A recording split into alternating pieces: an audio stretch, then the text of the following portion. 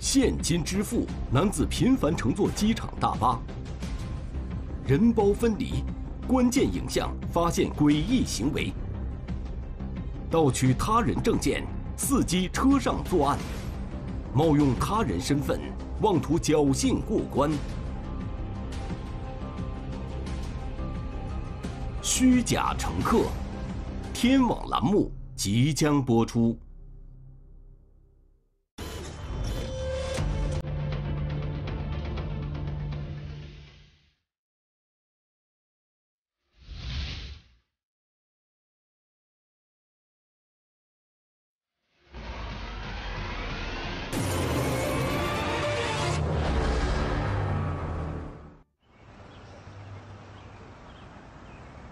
乘客您好，欢迎乘坐机场巴士一号线。本车由兰州中川国际机场开往兰州火车站，途经天水路北口、良至嘉年华、盘旋路、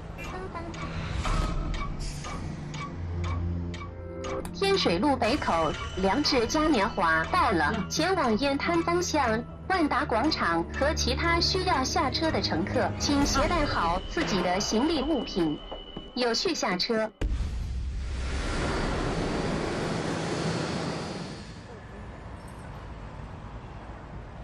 你是因何事报的案呢？我这个包里面的一万六千元现金被盗。当时这个受害人报称，他这个坐飞机到达兰州中山机场，然后就乘车回家之后，发现包内的一万六千元现金丢失了。现金是放在了什么地方呀？有什么特征？呃，我的现金呢，在我的这个手提包里面。这个一万呢是整的，提钱的时候扎的那个扎带扎带，嗯，在我的这个手提包的这个位层里面。然后剩下的零钱啦，就是大约六千元，嗯，呃，是在我的一个黑色的小钱包里面。好，呃，这些现金，它是提供给我们一个证据，去银行取钱的凭条。呃，就是银行给他的存根，呃，是一万六千元整，呃，他刚取完钱就坐的飞机，所以他很确定自己的包里有一万六千元现金。我这个钱啊，我是要给公司的这个员工发工资的，嗯，所以当时发现这个钱。他当时下飞机之后，他还看了自己的包，然后当时这个一万六千元现金还在包里边，呃，所以应该就是在飞机上丢失的可能性是没有的。他坐大巴买票的时候，他还最后一次见到自己的现金。呃，我不是从那个兰州天水路下车，然后我就搭了个出租车回家。到家里面以后，我又打开包取钱，我发现我的这个钱不见了。哦，乘出租车的时候，这个他的这个包一直是在他的身边啊，也没有离开过，所以在出租车上丢失的可能性应该是没有的。然后我们据此推断，呃，这个在大巴车上。这个现金丢失的可能性是最大的。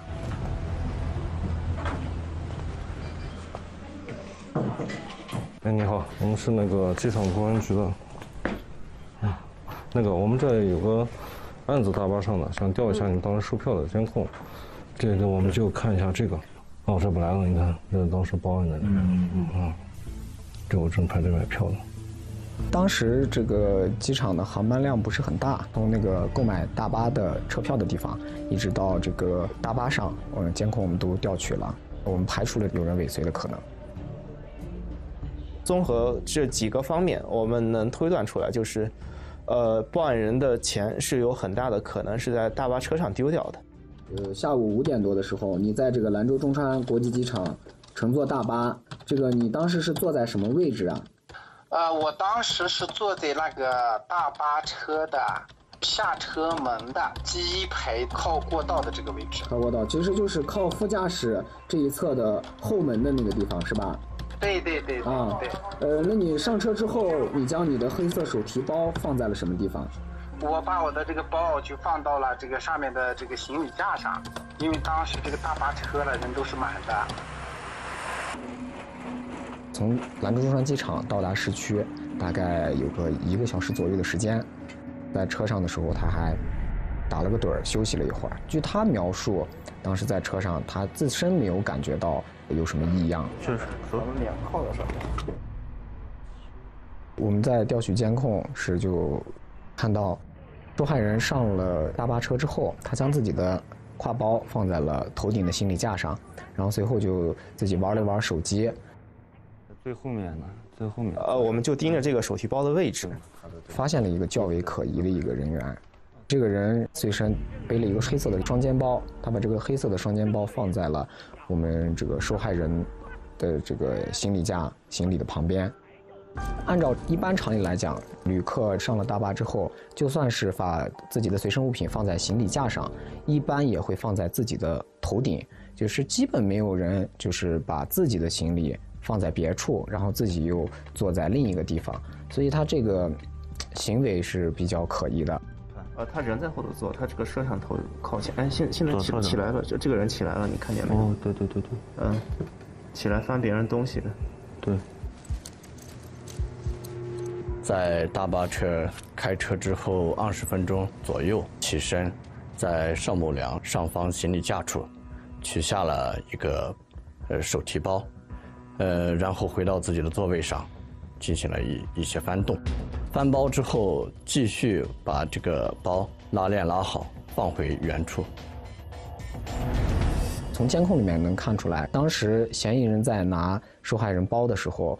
呃，受害人是处于休息的状态，他并没有发觉，嗯，自己的包已经被别人拿走了。所以这个嫌疑人最大，在整个车辆行驶过程中，只有他起来了，这是吧？就这一会儿。当时所有人戴的是口罩，所以说是分辨不出来他具体是谁，面貌是怎么样的，我们只能在视频里面。看见他是一个中年男子，他戴的鸭舌帽，戴的口罩，外套呢是深色的外套。当时这个监控画面能看到的信息只有这些，我们就打算先追溯一下，看能不能找到一些突破口。这个嫌疑人在购买车票的时候，他也是戴着鸭舌帽，戴着口罩。不同的是，深色外套上有一个浅色的毛领。我们当时想是不是找错人了，但是经过分析比对后，我们确定就是这个人。他购买大巴车票的时候用的是现金，现在老百姓出门啊干嘛带现金的情况相对来说比较少啊，大部分支付都是用嗯那个就网网上手机支付嘛，对吧？所以他用现金支付的这一点就比较的奇怪。在我们兰州中山机场买大巴车票的时候，必须要用身份证去购买，这样他的信息就会被登记下来。我们通过购票信息调取了当天乘坐这辆大巴的所有的旅客的当时购买车票的情况，然后就发现其中有一个男子确实就是用现金购买的车票，并且他购票的时间和监控里这个嫌疑人员购票的时间是一致的。二零二一年十二月二十号，这里，嗯，就这两趟是吧？发车点是三点零一。是从兰州上来，然后四点四十六从这边又买票下去了。也就是说，他到了之后，他就马上购票就下了。到了就下了。等一会儿拍张照片啊。光拍个这个身份证号。当时锁定了一个江苏籍男子王某进。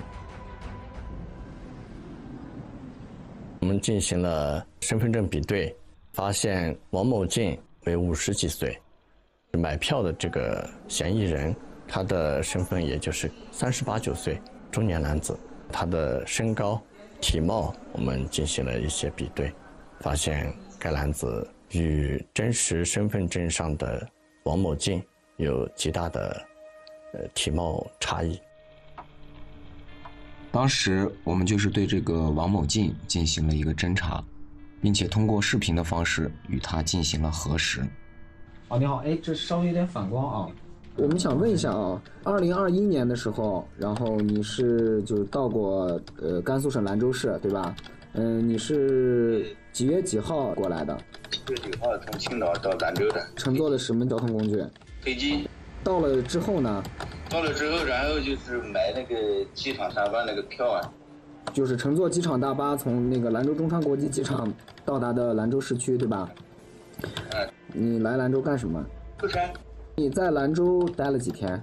哦，十一号离开的嘛。十一号离开的啊。七月十一号。据王某进的陈述，他在办完事之后，然后乘坐火车离开的兰州。在这，他在兰州这个待的这短暂停留的这两天，他的身份证丢失了。嗯，七月十一号，然后你从兰州，然后又去哪了？然后从兰州坐火车去的包头，但是呢，因为没有身份证嘛，临时办身份证一个地方。啊，办了个临时乘车的这个证明嘛。在当时这个受害人丢失现金的这几天，这个王某静的活动轨迹就不在不在我省，一直是在江苏、安徽，呃的一些省市活动。所以当时我们也排除了王某静在大巴车上实施盗窃的可能。后续呢，我们就对该身份证在近期乘坐大巴的信息再次进行了调取。那你这样，你把他这个整个十二月购票记录调去看有没有？十二月一号。十二月一号到到现在的。对。这么多。哦，这么多，看一下时间节点，十一号。十四号、十二号、十号、九号。他这每每间隔三四天就有一个来回呢，是吧？对。是你买？啊。发现该身份证的使用情况特别频繁，在。半个月之内使用过二十多次。作为一个正常的旅客来说，这么频繁的购买大巴车票显然是不正常的。当时我们就想到，有可能嫌疑人员是冒用他人身份信息购买的大巴车票。当时我们就按照我们传统的追踪模式进行了视频侦查，根据时间点，最后锁定到他在。兰州市良知嘉年华第一站处下车。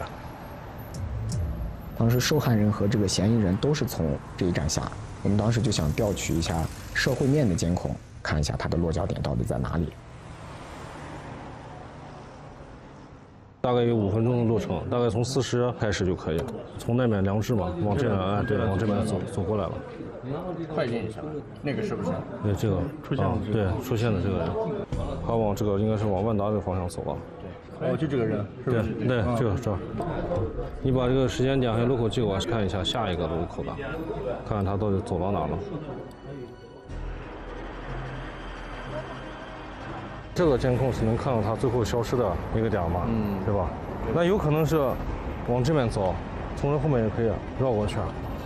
要么就是从躲着监控，从这个位置啊继续往下走，再有可能从这过去直接到万达那边那条街，三岔口三个方向都可以走。现在对，也不知道他是乘坐的公交车，还是步行，还是乘坐的出租汽车，确实比较难分辨。当时就跟丢了。全设停车场的，往外面开这个路上的有没有？没有，没有吗？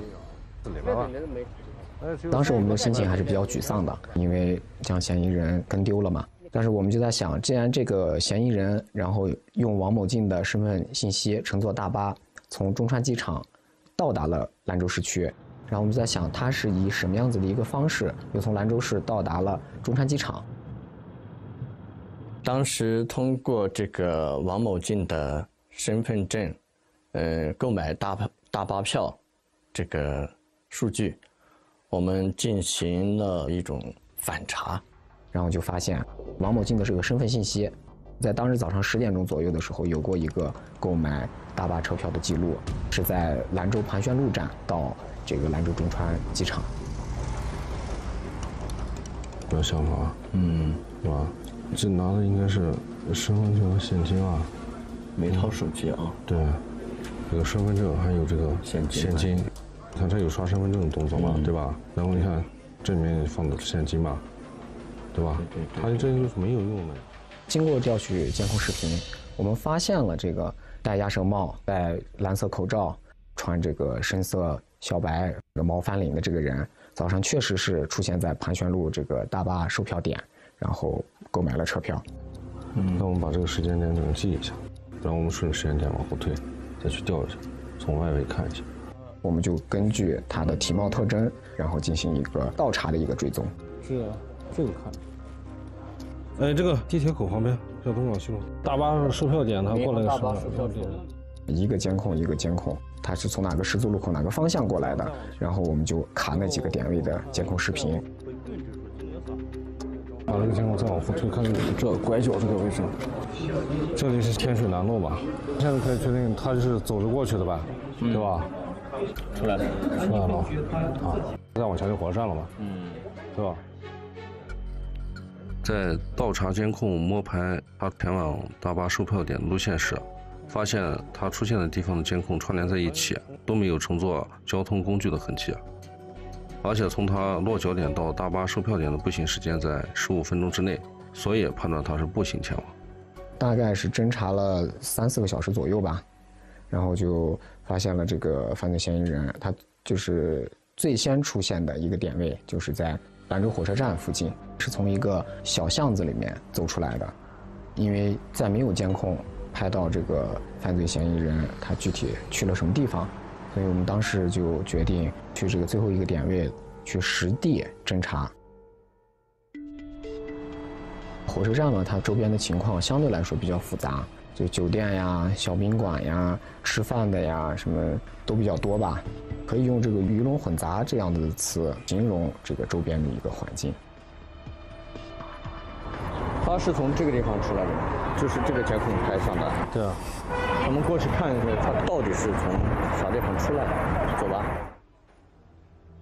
这个小巷子里面的这个建筑都是楼不太高吧，都是八层左右的这种老式的居民住宅楼。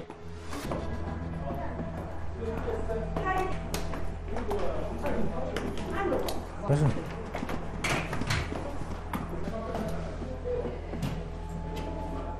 这个楼道很复杂。上了楼之后还有平台，平台里面还有好几个楼栋，每一个楼栋里面可能都有十到十六户的居民。但是我们发现这个楼里面还有两家宾馆。哎，你好，老板。相关民警啊，就是我们这样的有个案子，我们过来就是问一下啊，那个你的登记本我看一眼。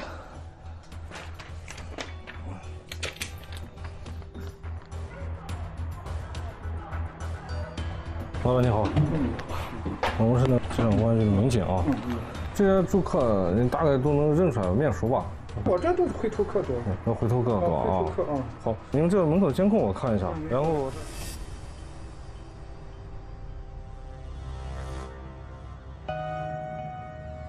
确实，在这个监控视频里面发现了这个犯罪嫌疑人。戴着与他在大巴车上盗窃时一样的黑色鸭舌帽，戴着口罩，背着双肩包，衣服穿的也是深色，带白色毛领的衣服，体貌特征与大巴车上盗窃的那个人一模一样。现在就是刷这个身份证和人脸都是做的是吧？啊，都人脸识别的一体的。就识别之后他才能入住，啊，对吧？根据酒店老板的登记记录，我们获知到当时刷了身份证。我们随即用这个身份证调取了他的照片，让老板进行了辨认。老板证实照片上的人就是住在他店里的人。我们就发现他是河南罗山籍男子胡某洲。胡某洲今年有四十六岁，没有这个违法犯罪的前科。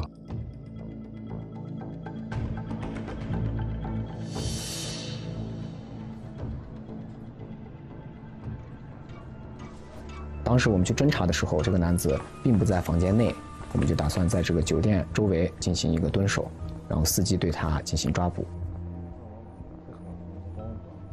我们当时在他的这个入住的房间对面，也开了一间房间，在对面进行一个观察，在酒店周边能看见犯罪嫌疑人进酒店的这个视野比较好的一个地理位置进行一个蹲守。然后我们酒店内、酒店外可以相互配合。然后我们就在了这个小旅馆周边蹲守了将近约两个小时左右，我们发现这个嫌疑人终于就是出现了。然后在他这个开酒店房门的一瞬间，然后我们这个内外呼应吧，就将犯罪嫌疑人控制住了。然后我们就对他整个房间里面进行了一个搜查，在房间里面我们搜出来了。四张身份证，包括胡某洲本人的一张身份证以外，还有另外三张其他人身份证。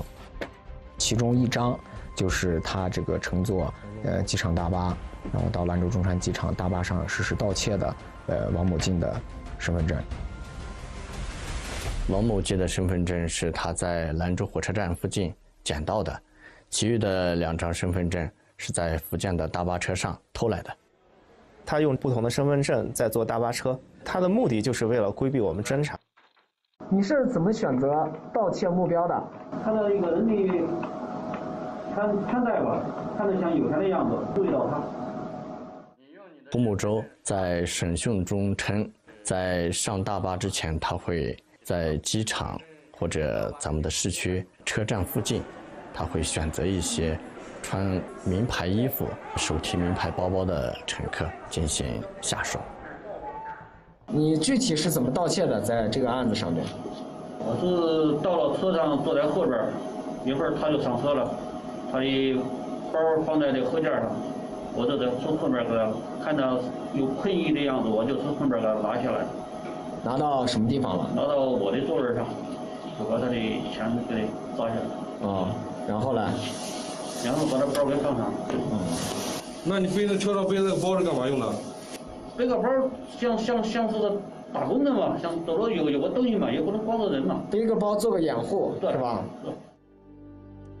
大概在二零二一年的十一月份左右，他就来到兰州。